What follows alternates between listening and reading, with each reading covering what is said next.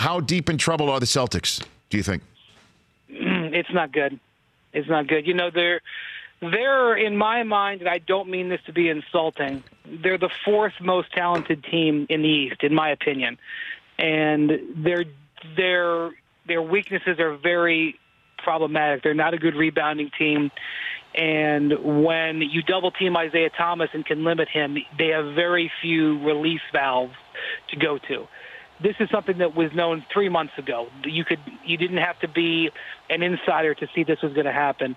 Now they happen to be getting dispirited a little bit. One of the things that was the definition of this team, one of the reasons why they got the number one seed was because they were beautifully coached and they always played hard. They played hard till the very end.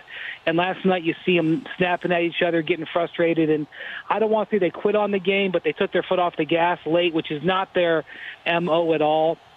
And you know, you look at them; they're they're going to have to really thread the needle to get back in this series and really have any sort of playoff run. Well, you know, the conversation we're already having it here, and uh, we're hearing about it that uh, the Celtics if they lose this series, certainly to this team, um, that they could have maybe avoided this by trading for Jimmy Butler. Was that a realistic possibility for the Celtics you at know, the trade deadline, Brian? I mean, they talked about it, but the problem when you get into this is like, did the Bulls really make Jimmy available? You know, I mean, you could probably get both sides in here. They give you, you, you give you a, a case. You know, my thing is, let's say they didn't trade for Jimmy Butler.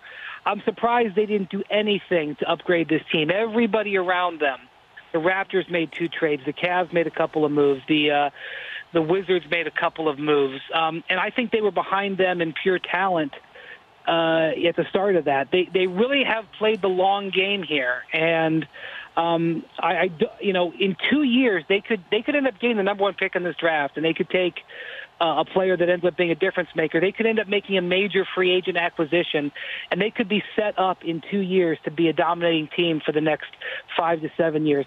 But I don't know that that's going to be the case. I, I know that draft picks after the fact have less value. For example, a year ago, they had the number three overall pick. They probably could have traded that pick they might have been able to trade that pick for Jimmy Butler a year ago. Now the number three pick became Jaylen Brown. Now some people think Jaylen Brown's going to be a really nice player, but you couldn't trade Jaylen Brown today for Jimmy Butler. So they are playing the long game, and they've elected to do it. And I wonder if that plays into what their real expectations of this playoff run are if they didn't feel that this team was worth investing in in the short term. I love that. A draft pick is more valuable until you personify it.